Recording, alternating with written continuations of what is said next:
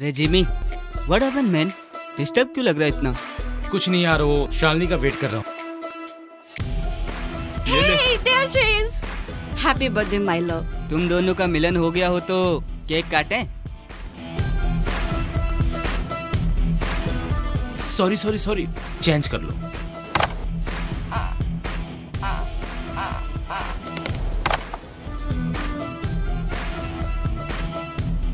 चलो। वॉशरूम में चेंज करवा देता हूँ। वॉशरूम नहीं सीधा बेड पे चलते हैं। क्या हो गया भाई? इतने सारे मैसेज कर दिए।